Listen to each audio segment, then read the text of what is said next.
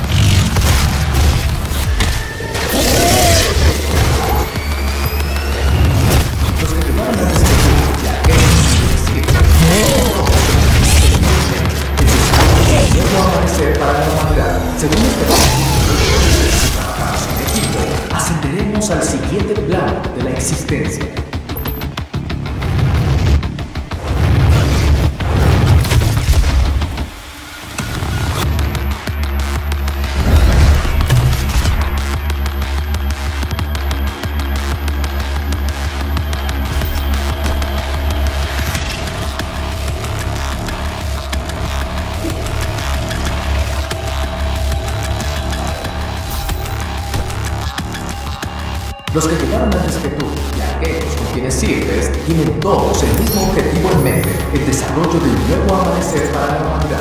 Según este principio rector, si trabajamos en equipo, ascenderemos al siguiente plano de la existencia.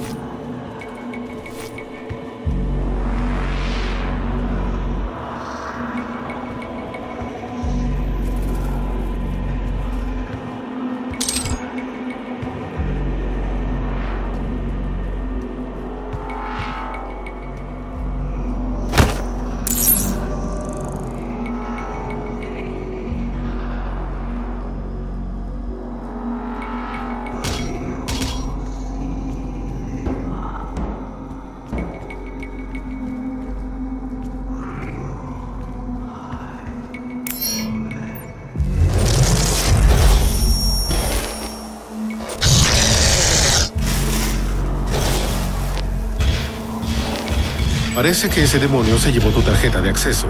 Tendrás que encontrarlo. No se puede acceder a la estación del tranvía sin autorización.